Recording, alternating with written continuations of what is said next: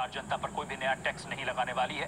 वित्त मंत्री ने कहा कि बजट में कुछ टैक्स को और कम किया जा सकता है। वित्त मंत्री ने कहा कि उत्तराखंड में जीएसटी लागू होने से 1500 करोड़ रुपए की अतिरिक्त आय का अनुमान है। इसके अलावा बजट सत्र में सरकार गैर ज़रूरी टैक्स और कानूनों को खत्म करने की तैयारी में है। टैक्स की ग्रोथ रेट 2016-17 के 17 फ़ीसदी से बढ़कर इस वित्तीय वर्ष में 19 फ़ीसदी से ज़्यादा होने का अनुमान भी है। हमारा ये प्रयास है कि राज्य की बिगड़ी हुई आर्थिक स्थिति को सुधारने का, हम लैंडमार्क काम करेंगे। हम राज्य की जनताओं की अपेक्षाओं पर खरा उतरने का प्रयास करेंगे।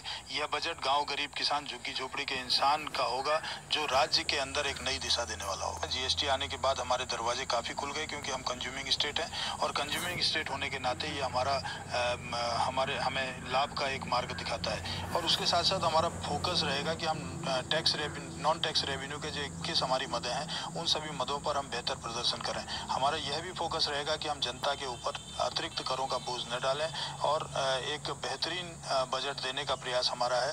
सर आपकी बात से एक बात तो स्पष्ट हो रही है कि जनता पर करों का बोझ नहीं पड़ेगा। एक चीज़ और क्लियर क्या कुछ टैक्स कम करने की भी कोशिश हो सकती है? देखिए कुछ टैक्स तो हमने कम करने शुरू कर दिए थे। आप देख रहे होंगे कि हमने जो पेट्रोलियम पदार्थ हैं उनमें जो सेस अनावश्यक रूप से लगा दिया गया था उस सेस की वजह से हमारे तेल, पेट्रोल और डीजल का दाम महँगे हो गए थे और उसका हमको कोई लाभ नहीं हो रहा था। सरकार ने तो तत्कालीन सरकार ने ये सोचा था कि इससे हमें 20 24 25 करोड़ का लाभ हो जाएगा, लेकिन वो लाभ उसको हुआ नहीं। उसकी जगह नुकसान हुआ है और जनता पर भी अनावश्यक रूप से सेस का भार पड़ा है। हम इस तरह से ऐसे संशोधन नियमित रूप से प्रक्रिया जारी रखेंगे।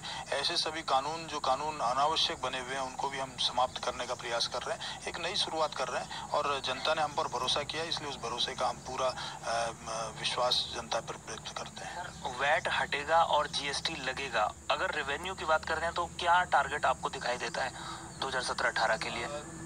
देखिए हमारा जो टैक्स कोई एनालिसिस किया हुआ है? हमारा जो टैक्स रेवेन्यू है उस टैक्स रेवेन्यू में हमारी ग्रोथ रेट 17.18 परसेंट है जो अभी बढ़ करके 19 या 20 परसेंट के आसपास टिकेगी। और जब 19 या 20 परसेंट हमारी ग्रोथ रेट रहेगी तो हम लगभग 1500 करोड़ के लाभ में रहेंगे।